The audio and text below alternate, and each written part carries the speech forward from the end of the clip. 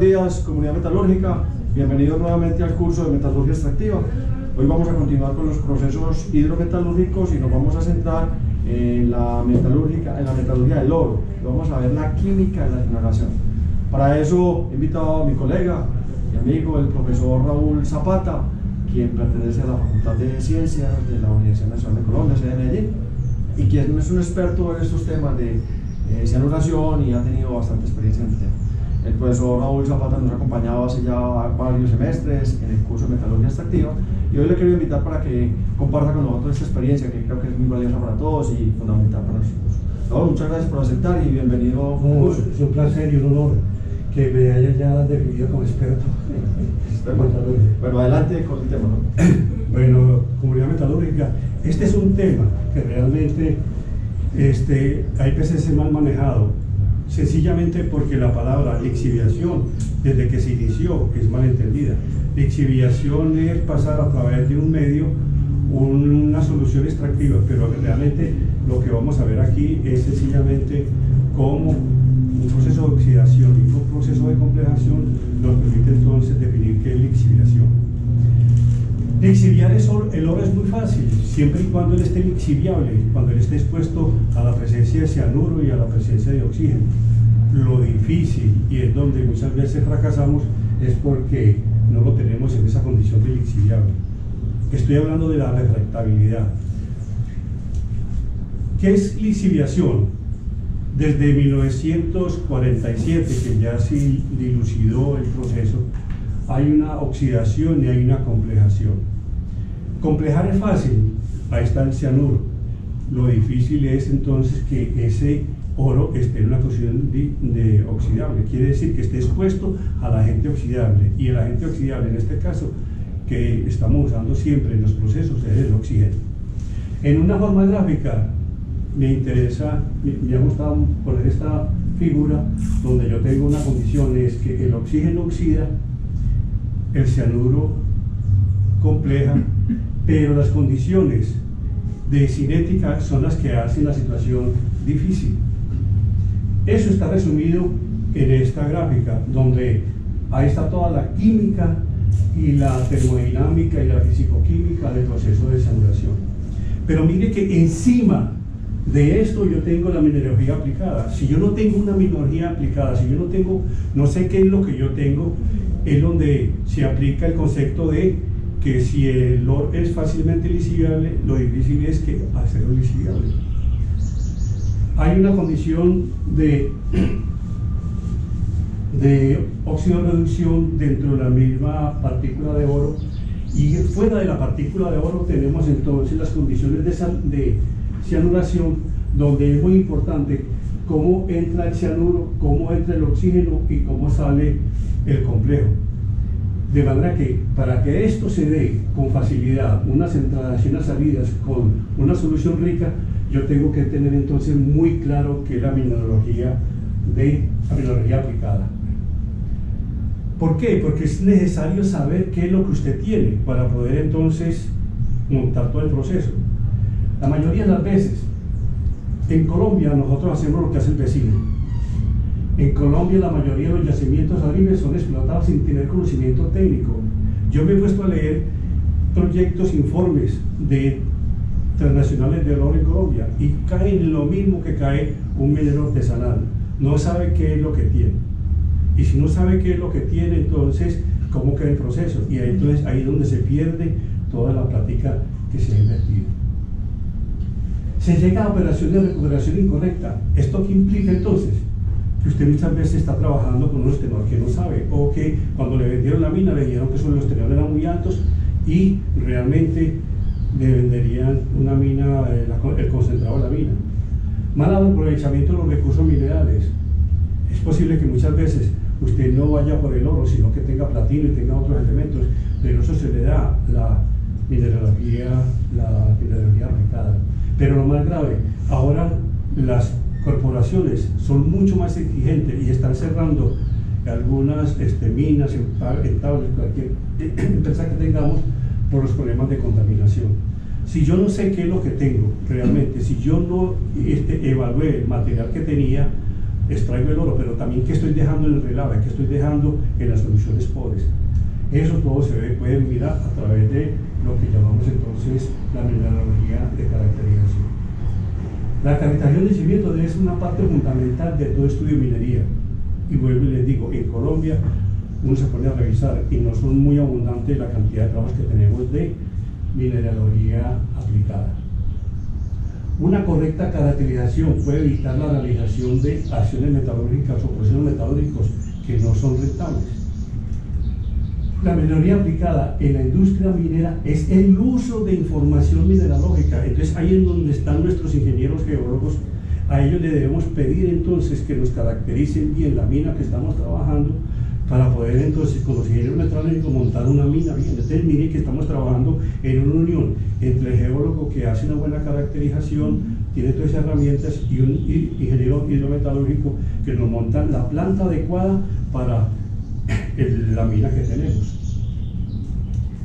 ¿Qué hace entonces la mineralogía? Bueno, en las plantas de la exploración, el procesamiento de minerales, en los relaves y la directora en la refinación, todo eso nos lo está ayudando a entender la mineralogía aplicada. La cantidad de minerales, entonces, ¿qué nos permite? Mirar qué cantidades de minerales mayores o menores o trazas tenemos, porque todo eso va a influir y muchas veces los elementos trazas nos va a influir en dónde, qué hacemos con el material de relave y lo que vamos a desechar. Composición de la mina es fundamental para poder saber entonces si tenemos que hacer procesos oxidativos, si tenemos que preparar o no. Eso nos va a entonces entenderla la, composición de la mina. ¿Qué cantidad tenemos? no solamente identificar el mineral, sino qué cantidad tenemos de minerales. Otra cosa fundamental, el tamaño de partícula y los granos que están incluidos ocluidos dentro del material. Entonces muchas veces nosotros con molienda somos capaces de recuperar el 80%, pero nos gastamos un infierno de plata recuperando el, 20 el 15% porque queremos oxidar lo que está ocluido entre las minas. Distribución de tamaño, como lo decía, liberación de minerales, o sea, qué condición hay para que realmente, como digo, la lixiviación es, es mm, exitosa si yo tengo el oro lixiviado. Y los recubrimientos de las superficies es fundamental porque es posible que entonces yo tengo ocluido el, el, oro y, y, además de estar ocluido el oro, pues, la oxidación, muchas veces la pirita se oxida, se llena de óxidos de hierro y aluminio y muchas veces no soy capaz de utilizar la perita porque la tengo ocluida dentro de precipitaciones sobre la superficie. Durante los últimos 30 años ya hay una instrumentación excelente, muy buena, que puede llegar a manejar ese problema. Estas son las técnicas convencionales. Ojalá por lo menos en los procesos de hidrometalurgia de oro tengamos mínimo esto, liberación de rayos X, microscopio electrónico, catoluminiscencia, microsondas. Son técnicas que no son tan costosas como estas, pero que también se pueden utilizar para ayudar entonces a hacer lo que se llama entonces la, mineralogía aplicada.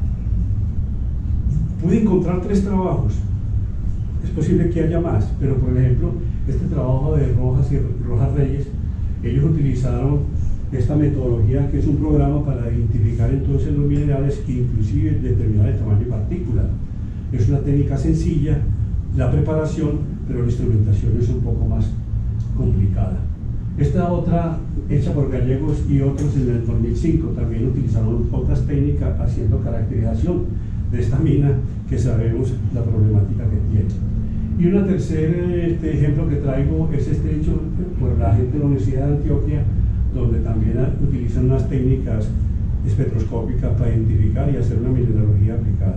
Los resultados los puede leer y buscarlos en esta técnica, pero yo lo que quería mostrar es que en el país se ha usado y hay posibilidades entonces de hacer una caracterización del material. Una vez entonces conocía qué es lo que yo tengo, yo puedo hacer tratamientos físicos o tratamientos químicos. Muchas veces con el tratamiento físico yo saco mucha parte del oro, lo pongo en una condición dilisiviable sencillamente con la molienda. Me llama la atención que la gente se pone, se ufana mucho que estoy moliendo a 50 micras, que estoy moliendo a 85 micras, Pero ¿por qué tuvo que volar allá? Seguramente el que le vendió el molino es el que lo llevó allá, pero ¿dónde está el estudio mineralógico para que diga que tenía que moler a esta condición? Y lo normal entonces es hacer tratamientos químicos. Si yo tengo el oro fluido dentro de una partícula y el porcentaje de oro es muy alto y yo no lo puedo lixiviar, entonces yo tengo que romper químicamente. Generalmente es un proceso de oxidación donde el sulfuro de la pirita lo lleva a sulfatos rompiendo eso, pero eso ya es un gasto químico.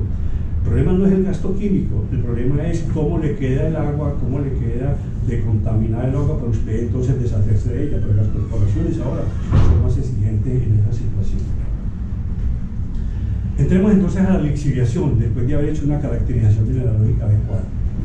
Esto en el año 1987 se cumplieron 100 años de haberse patentado en Estados Unidos, en Inglaterra, el proceso de lixiviación. Ellos lo montaron y empezaron entonces en Nueva Zelanda y en Sudáfrica a aplicar directamente esta metodología. Se sabe desde tiempos muy antiguos que el ácido nítrico no es capaz de disolver el oro. También se sabe que el ácido clorhídrico no es capaz de disolver el oro. Pero cuando se mezclan los dos ácidos, eso lo llaman el agua royal, porque es capaz de atacar el oro. Pero no es por la acidez del ácido clorhídrico, no es por la acidez del ácido nítrico, sencillamente es que tengo un oxidante y tengo un complejante. Por eso es que eso funciona. El ácido nítrico entonces se oxida, se reduce oxidando el oro, por eso le llaman agente oxidante. Ese oro entonces queda en una condición de poder entonces complejarse con el ion cloruro. Pues hacer extracción de oro con ácido nítrico pues es únicamente en laboratorio. Es por eso fue que el invento de estos señores lograron entonces reemplazar el ácido nítrico con oxígeno atmosférico y el cianuro formando un teje complejo. Entonces, aquí está toda la química que podemos entender del proceso, del proceso de lixiviación. A raíz de eso, entonces, ya desde 1887, 1887 que empezó el proceso de cianuración, se empezó a escribir muchos textos, pero todos hablaban del cianuro. Pero no se imaginaban qué es lo que estaba pasando ahí. Por eso la palabra lixiviación se acuñó como si fuera una disolución. Pero realmente vamos a ver que si no entendemos que esa lixiviación, como dije, tiene dos componentes, tiene que oxidar y tiene que complejar, entonces los procesos no van a ser bien entendidos.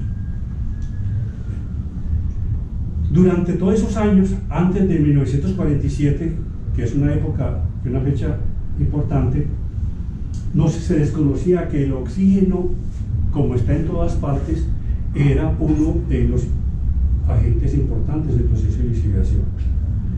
Nos dimos cuenta después que el proceso de lixiviación era altamente dependiendo de la concentración, de no solamente la concentración del cianuro, sino también la condición y la cantidad de oxígeno que estaba prendiendo.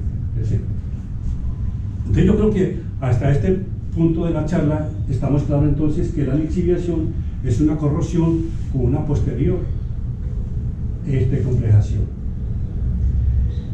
Thomson, por eso le decía yo, en 1947 hizo un ensayo muy sencillo. Incorporó unas partículas de oro de 50, 120 micras en un gel, en una gelatina y en forma direccional metió el, el oxígeno. La gelatina tenía cianuro y lo que mostraba entonces era que por la forma en que entraba el cianuro, en la parte contraria había la oxidación, había la corrosión. Eso es lo que habíamos visto en el diagrama que yo les mostré, cómo entonces en una parte de la misma partícula de oro hay oxidación y la otra parte tiene que haber reducción. ¿Quién se está reduciendo? El oxígeno. ¿Quién se está oxidando? El oro metálico. Eso ya entonces se conocía. Lo que pasa es que ya sabíamos que en esa época teníamos barcos, teníamos este, metales expuestos al agua salinas y a la atmósfera y todo el mundo sabía de la corrosión. Pero asociar la corrosión a la lixiviación fue muy importante porque se pudo teorizar toda la problemática de la lixiviación en base a lo que ya se conocía de la corrosión. Este es un ejemplo también igual. Yo tengo una barra de hierro donde, donde estoy ocasionando una ligera, una ligera alcalinidad en el rosado y una reducción de hierro formando ferrocianuro en esa mina, en esa lámina. Entonces, eso mismo que está ocurriendo es lo que yo busco que ocurre en la lixiviación. Les habíamos dicho entonces que yo tengo entonces una parte donde llega el oxígeno, una parte se corroe y la parte se va entonces manteniendo, recibiendo los electrones en el proceso. Entender esto es fundamental. porque, Por ejemplo, hay veces que la gente monta un sistema, unos sistemas de agitación tan energéticos que tiene que montar una torre grandísima y gastar mucha plata para poder montar un tanque y moverlo a 300, 400 revoluciones por minuto. Donde vamos a ver entonces que todo el problema es de difusión. Yo tengo que entender que el cianuro tiene que difundir, el oxígeno tiene que difundir sobre la partícula de oro y que salga también por difusión el cianuro. ¿Qué es lo que sucede? Que yo agito lentamente la solución externa a esta solución interna para que el cianuro esté llegando y se vaya enriqueciendo la solución rica. Entonces, por eso es que es tan efectivo el sistema con carbón activado, porque ¿qué es lo que hace el carbón activado? Yo no necesito agitar mucho, mucho, sino como el carbón activado siempre lo está sacando, esta zona será una zona de, de, de baja concentración, prácticamente concentración cero, de la difusión siempre se va desde la superficie hacia la erosión, porque el cianuro va siendo entonces absorbido por el carbón.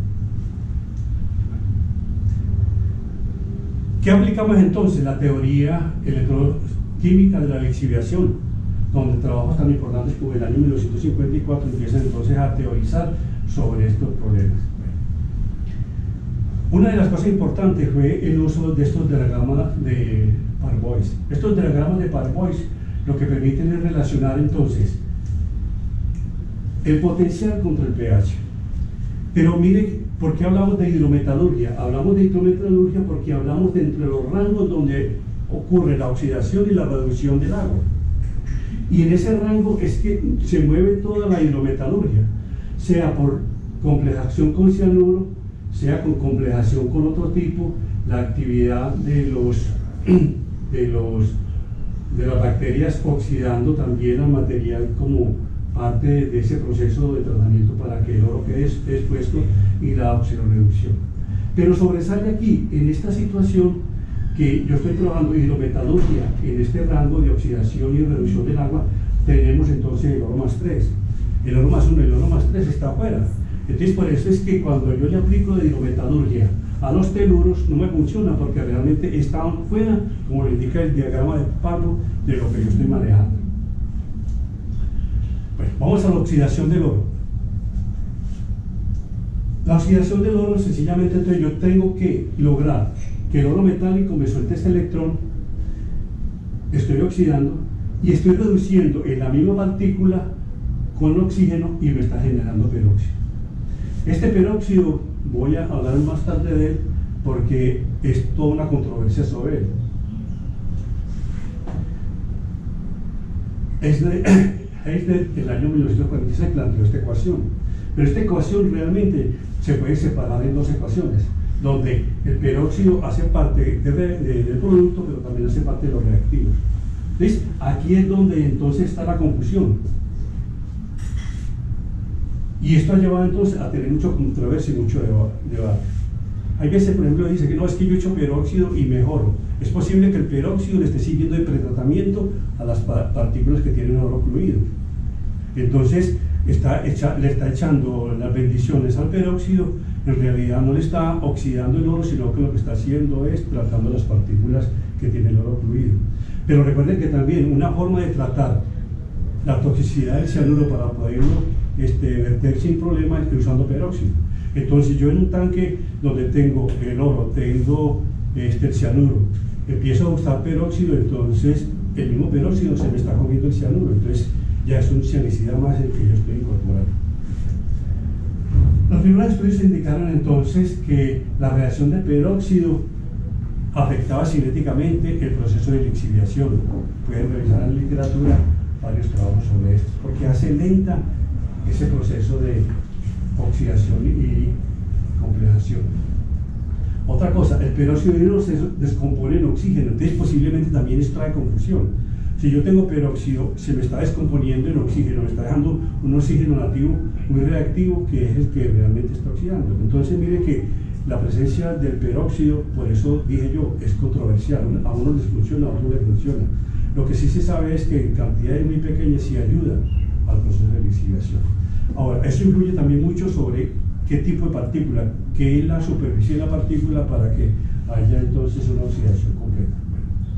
dejemos la oxidación porque ya tenemos el oro más 1. Entonces entremos a complejarlo. Toda la teoría que hay detrás de la complejación es la teoría de los ácidos y bases de Lewis. Esa teoría, ¿qué me dice?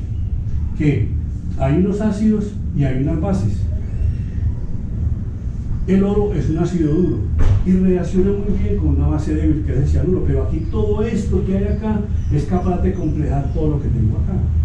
Entonces, ¿por qué han hecho este? Porque oxidó rápidamente el, oxígeno y el cianuro es de lo más económico y más fácil de manejar. ¿En qué se fundamenta esto? En que el cianuro tiene unos electrones libres, un par de electrones libres, y el ácido tiene entonces unos orbitales libres, formando entonces el complejo. Ese complejo se forma entonces porque hay estabilidad de ese enlace covalente entre el ácido de Lewis y la base de Lewis. El complejo que se forma entonces es un complejo, es una reacción ácido-base donde es importante tener todo el cianuro en esta forma complejante y todo el oro como ácido de Lewis. Vamos a la química del cianuro. El cianuro entonces lo utilizamos dos, sales, unas veces sales de potasio, otras veces sales de sodio. Se disocia parcialmente, o sea, tiene una, tenemos que forzar en base a consumir este protón, subiendo el pH para que toda la cantidad de cianuro no quede este, como ese menos. Nosotros sabemos, por ejemplo, que eh, tenemos que tener un pH por encima de 931, 931 es la constante, por encima de 931 yo tengo que tener, porque cuando llevo a pH de 10, de 5 11, pues prácticamente todo el ácido cianhídrico que yo tengo, lo tengo como cianuro. Esas son las dos fuentes que se utilizan. El potasio es un elemento más caro que el sodio, que por eso es que el sodio, el cianuro de sodio es más económico, aunque es 20 gramos por litro menos soluble, pero es que nosotros nunca llegamos a esta situación. La ventaja de como el sodio pesa 23 y el potasio pesa 39, yo tengo en la fórmula del cianuro de sodio tengo 53% de cianuro. Es, es una ventaja utilizar cianuro de sodio, pero es sencillamente una ventaja química. ¿Cómo se manejan los complejos. Los complejos se manejan en base a esta constante. Esta constante entonces es poner en el numerador los, productos y el denominador los reactivos. Entre más alta sea el valor, más estable es el complejo. Miremos esta situación. Yo puse ahí una raya roja donde separo entonces cuatro complejos. 10 a la 37. O sea que este valor aquí es 37 para el oro. Pero mire el mercurio. El mercurio tiene una capacidad de complejar más. El mercurio este, iónico compleja más el cianuro. Es si yo quiero hacer limpiar relaves, la una forma muy fácil de limpiar relaves es cianurando, porque después ese cianuro lo tengo que entonces recuperar en una atmósfera confinada para poder que no haya contaminación. Pero mire el problema del, hierro más 3. El problema del hierro más 3 tiene una constante supremamente más alta. Entonces, mucho del hierro que está en la solución es lo que nosotros llamamos los famosos cianicidas, porque se llevan todo el sodio, todo el cianuro. Entonces, si usted no tiene un exceso de cianuro referido a la concentración de hierro más 3, usted entonces no va a complejar el oro y mucho menos va a complejar la plata. ¿Ves? Mire, por ejemplo, el cobalto. Por eso es que la, la mineralogía aplicada es tan importante para que me digan a mí que hay elementos traza. Pues si, el, ingeniero, si el geólogo me dice, mire, hicimos un estudio y sus minerales tienen traza, tienen cobalto, espera entonces que le van a presentar un problema en la licitación. Esto se encuentra en la literatura y entonces le ponen a uno los fuertes, los débiles, es sencillamente, esto está organizado en base a las constantes que yo les acabo de mostrar. En el cuadro que yo les mostré de ácidos y bases de Lewis, en las bases de Lewis estaban todos estos. Pero, ¿qué es lo que sucede? Con el cianuro es mucho más alta. Con el tiocianato es mejor, menor. Con los tiosulfatos son menores. Primero se hacía con cloro y, básicamente con cloro, pero viene la constante, es mucho, mucho, mucho menor. De manera que aquí vemos entonces que es posible lixiviar con todos estos ligandos.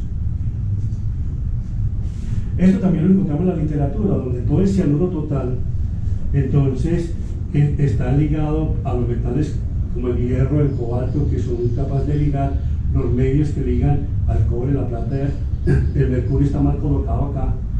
Y este entonces es el problema. ¿Cuánto yo tengo de, cianuro libre para poder entonces que esté capacidad de complejar? Lastimosamente las metodologías para determinar cianuro durante el proceso de lisiviación es con plata y yo no logro entonces muchas veces manejar con la titulación con plata realmente todo el cianuro libre que tengo.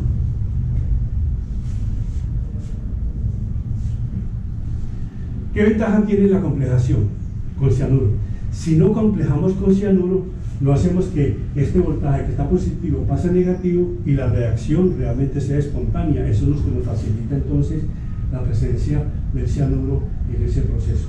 Por lo tanto, entonces, aunque esto se dé espontáneamente, la presencia de cianuro va a mejorar todavía la extracción del oro de la superficie donde está oxidado. Aquí entonces está la tercera parte del proceso, oxido complejo, pero también entonces tengo la parte cinética, o sea, qué tan rápido yo quiero que se oxide y qué tan rápido quiero que se compleje. Eso es lo que produce la cinética. Todo eso está manejado teóricamente por la capa límite de NERS, que esa es la capa que hay entre el cianuro cuando entra, el, oxígeno cuando entra y el complejo cuando sale. Manejar entonces esa capa colindante es lo fundamental. ¿Qué se da ahí en esa situación? Se da primero, entonces, que depende de la velocidad de dilución del cianuro. Eso está muy asociado al tamaño de partícula. O sea, es, mucho más fácil cianurar partículas muy pequeñas que partículas grandes. Por eso es que usted utiliza mesa, todos esos procedimientos para sacar ese oro que no es lixiviable por las condiciones de una superficie muy baja. Y recuerden que entre más baja la partícula, más superficie específica tiene. La velocidad de dilución depende entonces del flujo masal. ¿Qué significa entonces? Que cuando difunde el cianuro hacia la superficie, hasta la solución externa, yo tengo entonces que lograr por agitación que él salga de ese sitio. Pero la agitación no me va a mejorar la oxidación. La agitación lo que hace sencillamente hacer que la molécula compleja de cianuro vaya de la capa externa del NERS hacia la solución externa. Eso también se puede favorecer sin mucha agitación con el carbón el carbón activado lo retira de, ese tiempo, o sea que el carbón, la superficie de carbón es la parte de, de, extracción y la parte enriquecida y la parte pobre, la parte donde la concentración es baja es la que tengo en superficie. Y tercero entonces, la velocidad es ligeramente afectada por el aumento de la temperatura. Es muy poca la temperatura, pero se favorece, pero es tan costoso subir la temperatura a unos metros cúbicos de agua que prácticamente todo se hace a temperatura constante. En base entonces a que yo tengo entonces una reacción catódica y una reacción anódica, es que se puede entonces formular estas ecuaciones. Estas ecuaciones de difusión lo que hacen sencillamente es resolver la ecuación de Ness en base entonces a el cambio de tiempo, que es entonces la ecuación de Fick. Esta ecuación de Fick resuelta para el proceso de óxido-reducción mm, decía que da dos procesos. El proceso donde yo tengo que el oxígeno cambia y mantengo la concentración de cianuro este, variable, eh, constante. O cuando cambio la concentración de cianuro y mantengo la concentración de oxígeno constante. Eso hago entonces que existan dos procesos. Un proceso en autoclave donde la lixiviación, hay que entender aquí que las autoclaves se están usando es para oxidar las piritas, los compuestos de azufre, con presencia de oxígeno y altas temperaturas o temperaturas medias. No, lo que yo estoy hablando acá es sencillamente la lixiviación, donde yo aumento la concentración, de, la presión de oxígeno y al aumentar la presión de oxígeno entonces mantengo una concentración de cianuro constante y favorezco un proceso, lo hago más rápido. O lo que generalmente la gente hace, un tanque a, a presión abierta donde entonces la concentración de oxígeno es constante y yo lo que hago es variar la concentración de cianuro. Esos dos procesos entonces ya están muy bien estudiados, mire que estamos hablando de la década del 50, donde yo aumento la presión y aumento la velocidad. O que normalmente hace ahora es, yo mantengo la presión normal y cambio la concentración de cianuro. Esos dos procesos entonces son los que actualmente se están manejando. Son muy pocas las minas o las este, empresas en el mundo que están usando el sistema de oxígeno, de lixiviación eh, bajo presión con oxígeno. Prácticamente en el mundo todo lo que utiliza entonces es a presión normal con una concentración variable de cianuro que se encuentra entonces con experimentación. Gracias entonces por la atención y espero entonces que esta charla ha sido de aprecio y de valor para ustedes. Muy bien. Eh, muchas gracias por la presentación. Yo creo que con esto queda muy bien eh, complementado el, capítulo de la celebración de las venas auríferas y con los fundamentos que hemos dado de la metalurgia del oro y los pruebas de lixiviación, creo que se han avanzado de manera adecuada eh, el conocimiento de la cianuración del oro. Eh, Raúl, muchas gracias por la presentación. A ustedes también muchas gracias por su atención y espero que nos sigan acompañando en lo que sigue el curso. Ya con esto terminamos los, eh, los procesos de hidrometalúrgicos, vamos a acompañar eso con el laboratorio y vamos a continuar con los procesos pirometalúrgicos. Muy bien, muchas gracias por su atención. Hasta pronto.